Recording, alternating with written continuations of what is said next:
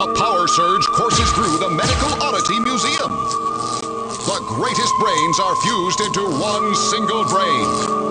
Mindulon bends the will of the weak to do his telepathic bidding.